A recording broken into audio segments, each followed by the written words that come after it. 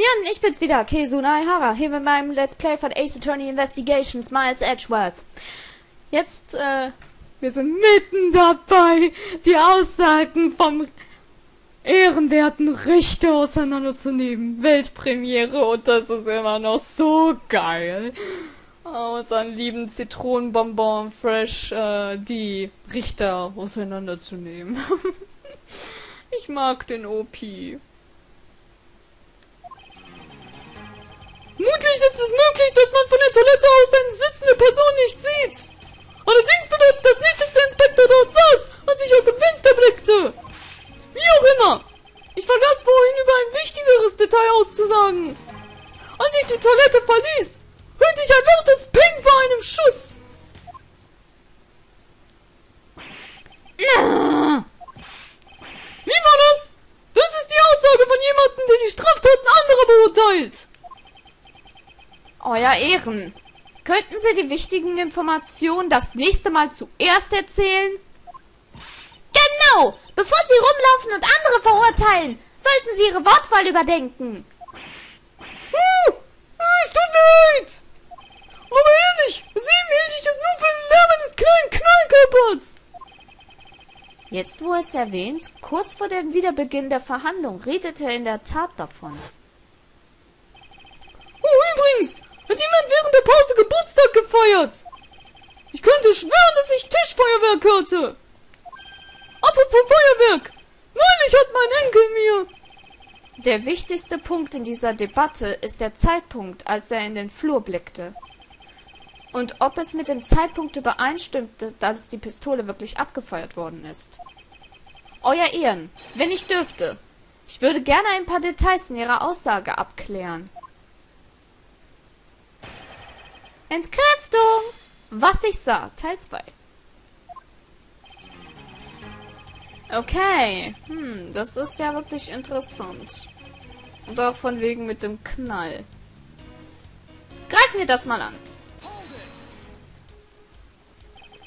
Wie wir festgestellt haben, gingen sie also während der Pause zur Toilette. Zu welchem Zeitpunkt während der Pause haben sie jedoch in den Flur geschaut?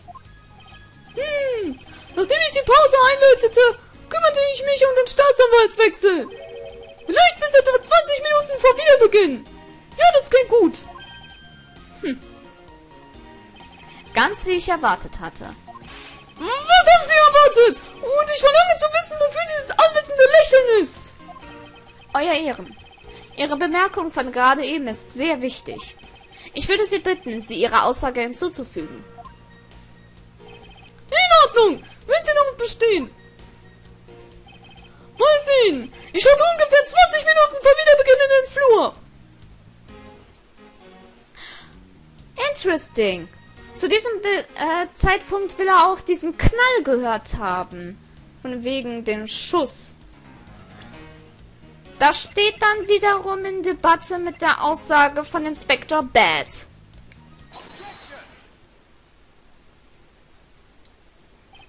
Euer Ehe. Ich kann Ihnen nicht erlauben, einen Einspruch zu erheben. What the fuck? Was? Euer Ehren. Es tut mir wirklich leid, aber ich kann Ihnen nicht erlauben, mir nicht zu erlauben, einen Einspruch zu erheben. Gute Güte! Ich wurde überstimmt! Ja, auf eine einfache Art und Weise. Euer Ehren, Ihre Aussage hat zu viele Löcher für meinen Geschmack. Was meinen Sie damit? Sie behaupteten, den Schuss während der Pause gehört zu haben. Aber das ist unmöglich. Herr neuer Staatsanwalt, empfohlen von Manfred von... Anstatt sich auf die Zunge zu beißen, sollten Sie lieber... Ich hab's nicht lesen können. Das war viel zu schnell, Franziska. Dass sie sich da nicht in die Zunge beißt? Wunder. Äh, well then. Wo war ich stehen geblieben? Ich sehe, zu, ich sehe, du zeigst auch vor Senioren keine Gnade, Franziska. Hm, keine Widerworte, oder es setzt einen Hieb mit der Peitsche auf deinen Rücken. Bei deiner Größe bräuchtest du dazu schon eine Trittleiter oder vier, um das zu bewerkstelligen. Ahem, Hedgewood! Meine Ohren haben noch nicht den Geist aufgegeben. Ich kann immer noch hören. Und ich hörte den Schuss laut und deutlich mit einem eigenen zwei Ohren. Ha. Euer Ehren, ich habe hier eine interessante Aussage. Sie ist von Inspektor Bad. Demnach hörte er den Schuss kurz bevor die Verhandlung wieder aufgenommen worden ist. Was haben Sie da gesagt? Euer Ehren, Sie sagten gerade, dass Sie den Schuss ungefähr 20 Minuten vor Wiederbeginn hörten. Wie erklären Sie sich diesen offensichtlichen Widerspruch? Das kann nicht sein!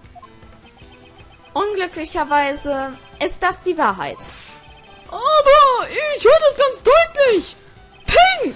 Das laute Geräusch eines Schusses. Das Geräusch des Schusses. Wir kehren immer wieder zu diesem Stra Streitpunkt zurück. Und dieses Beweisstück.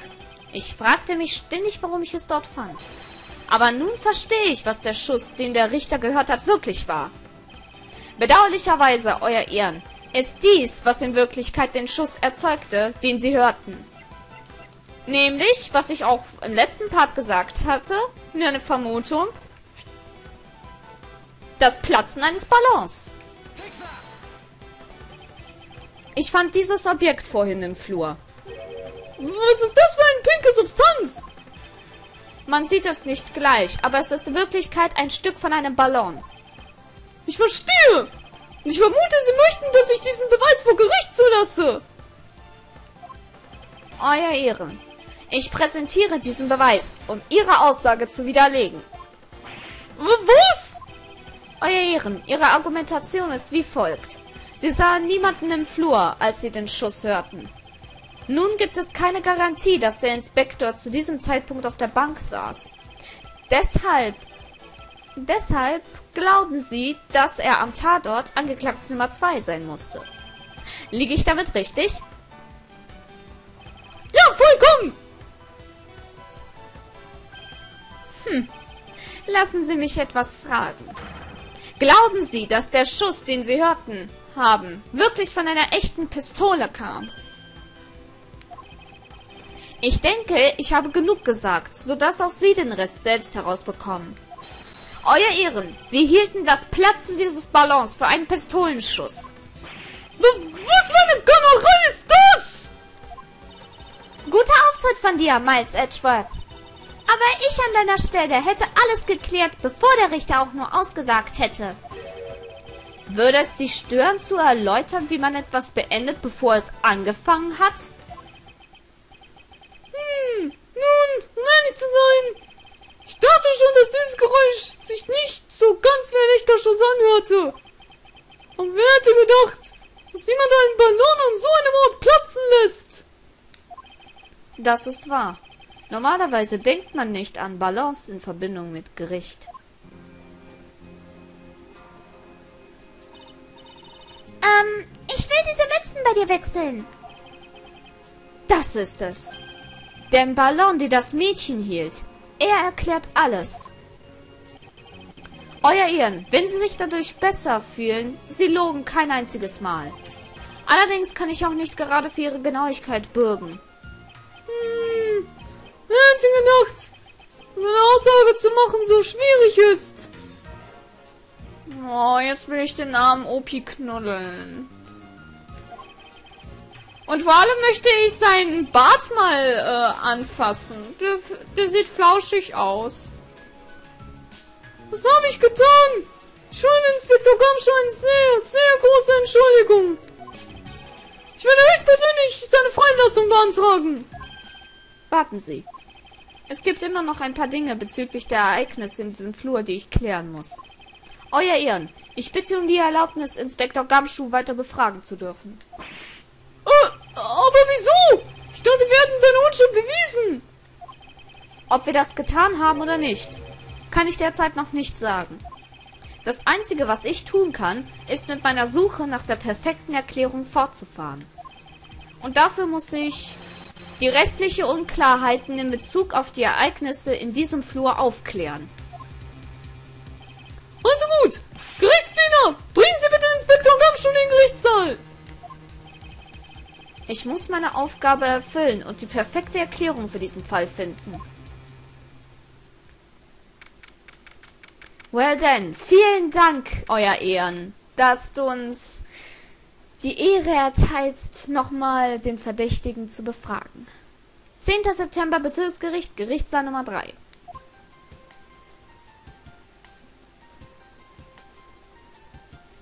Danke, Gerichtsdiener. Was denn nun schon wieder? Ist bereits die Zeit für meine Verhandlung gekommen? Äh, Ich habe es Ihnen doch bereits bei Billionen Mal gesagt, Kumpel. Ich war es nicht. Darüber werde ich urteilen, Inspektor Gamschuh. Nein, wirst du nicht. Ich werde darüber urteilen. Nein, nein, nein, nein, nein, nein. Ich bin der Richter hier und ich werde darüber urteilen. Warum könnt ihr Jungs nicht etwas weniger verurteilend sein? Oh Mann, ey, wie im Kindergarten. Ja, nun, apropos vorschnelle Verurteilung. Inspektor Gamschuh. Ich befürchte, ich muss mich wegen meines fehlerhaften Urteilsvermögens entschuldigen. Euer Ehren, ich glaube nicht, dass Sie sich jetzt schon entschuldigen sollten. Wir müssen immer noch beweisen, dass er absolut keine Schuld an diesem Verbrechen trägt. Sicherlich. Ähm, worüber reden Sie überhaupt? Auf jeden Fall.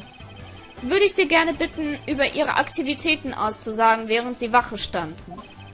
Und bitte denken Sie daran, dass Sie nicht vor Gericht stehen. Das gehört lediglich zur Ermittlung.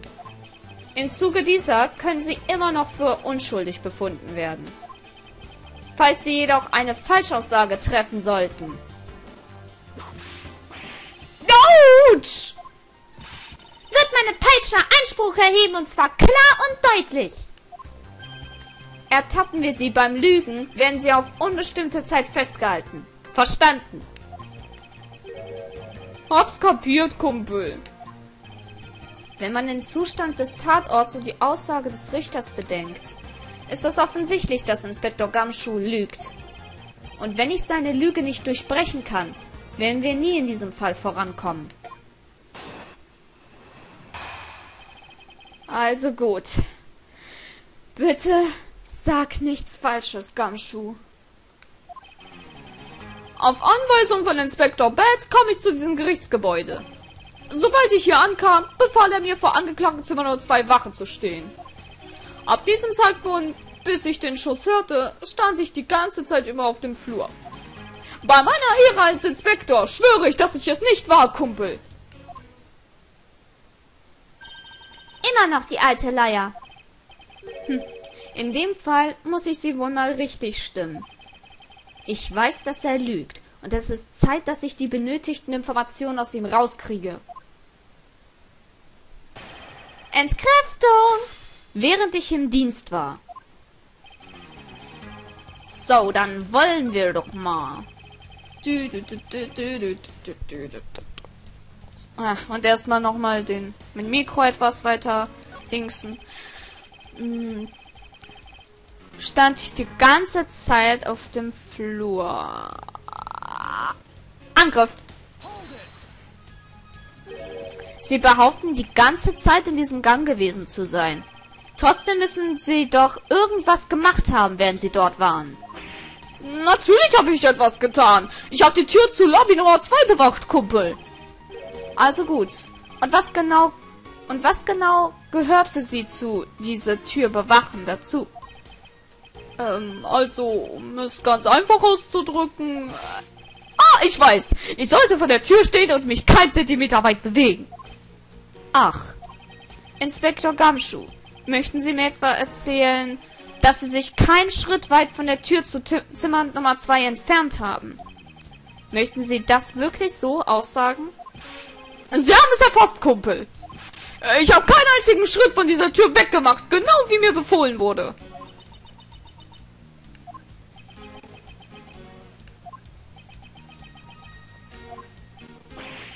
Warum sind alle plötzlich so still? Weil wir alle verblüfft und beeindruckt von ihrer unglaublichen Blödheit sind. Idiot! Wenn du uns schon eine Lüge auftischen willst, dann wenigstens eine glaubwürdigere!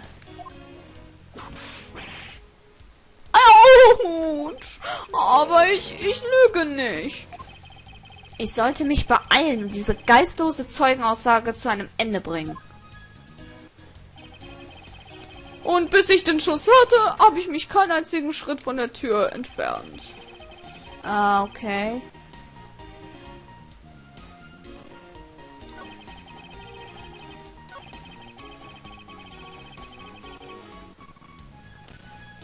Well then. Ein Schritt von der Tür entfernt war. Ich hatte jetzt irgendwie äh, geistige Blockade von wegen. Ist das jetzt wirklich neu hinzugefügt worden? Aber ja, ist es. Also ähm, pff, alles okay, alles okay. Jedenfalls der Abdruck, der hat sich hingesetzt, also hat er sich vom Fleck bewegt.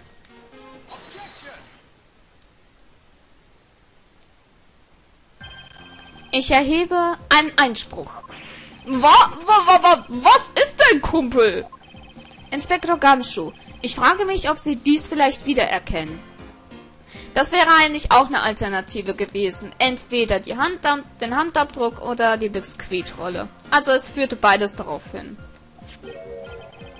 Hey, das ist einer dieser Snacks. Der Gerichtshaus Spezial-Biskuitrollen. Oder, Kumpel? Hm, exakt. In diesem Fall vermute ich, dass sie sich ebenfalls an die verschmutzte Bank im Flur erinnern. Hey, wissen Sie was? Ich glaube, das habe ich vermutlich... Ich das habe vermutlich ich zu verantworten. Inspektor Gamschuh! Sie wissen, dass Sie das Gerichtsgebäude nicht verdrecken dürfen! Du rücksichtslose, schlampiges Ferkel! Ja! Ich werde später sauber machen, ich schwöre es! Nun denn, wenn wir uns wieder den Ermittlungen zuwenden könnten. Bezüglich der Tatsache, dass sie sich nicht einen einzigen Schritt von dieser Tür entfernt haben. Wenn das wirklich der Fall ist, wie waren sie dann in der Lage, Biskuitrollen zu kaufen?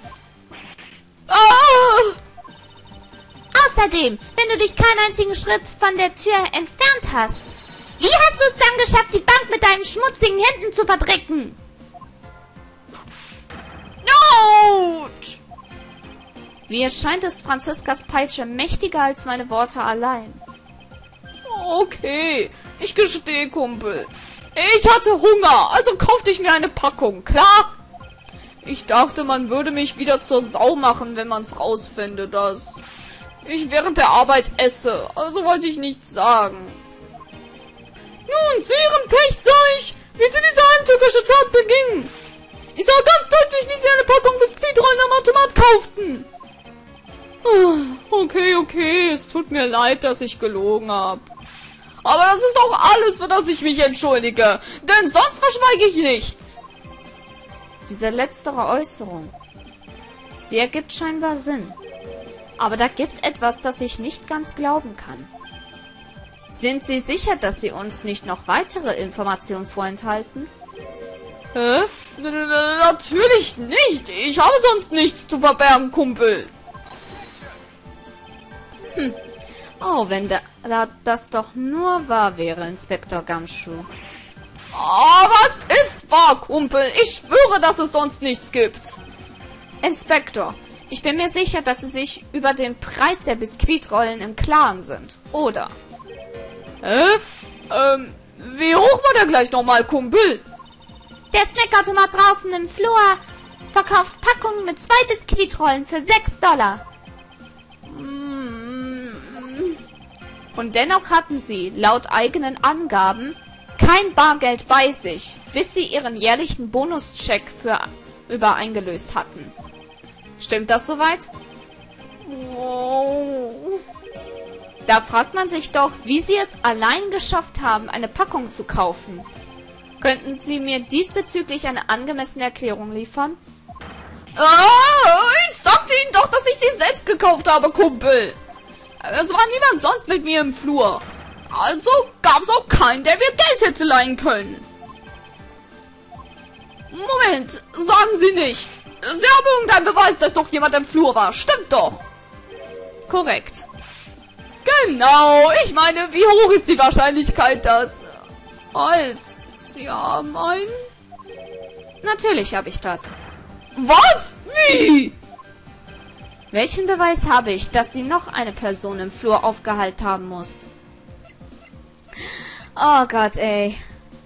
Schauen wir uns mal die Rolle an und wir dürfen ja nicht vergessen, bevor das in unseren Organizer kam, wurde das fallen gelassen von unserem kleinen süßen Mädchen, das uns getreten hat.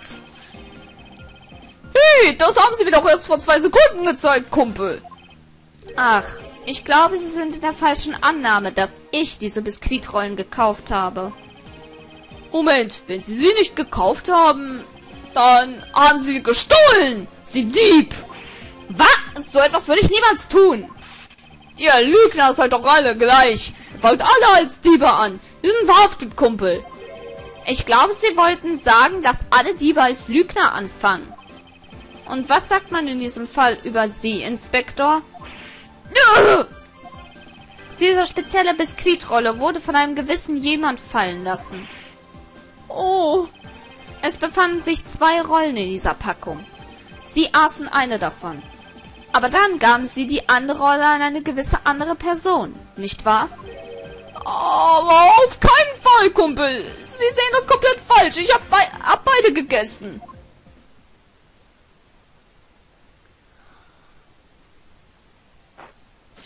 Ha! Erwischt! Es scheint, als hätten wir sie zuletzt doch noch ertappt. da ist die Kleine, ja. Und sie macht einen auf Kung Fu Panda! Hey, warum sie es ja nicht, diesem Mädchen etwas anzutun? So wie es aussieht, kennen sich die beiden also doch. Also, warum kommst du immer her und trittst mich? Habe ich dir etwas getan? Einen Namen, nämlich Kay. Kay. Und weiter? Kay Faraday. Faraday. Bist du vielleicht die Tochter von Herrn Faraday? Ich bin keine du. Ich bin Kay. Hm, Kay. Weißt du, kleine brave Mädchen treten keine anderen Menschen. Vor allem nicht hart genug, um große, fiese Blutergüsse zu hinterlassen, wie du es tust. Hättest du eben Gabby nicht unter Arrest stellen sollen, Mister. Gummy? Ah, jetzt wissen wir, woher dieser eine Spitzname kommt. Hat sie sich einfach mal ausgedacht. Ich schätze, dass sie damit Inspektor Gamschuh meint. No shit, Richter. Was für einen niedlichen Spitznamen für, zu ihm gegeben hast. Gummy hat nichts Falsches gemacht. Hey. Anscheinend muss ich sie noch ein bisschen gründlicher befragen.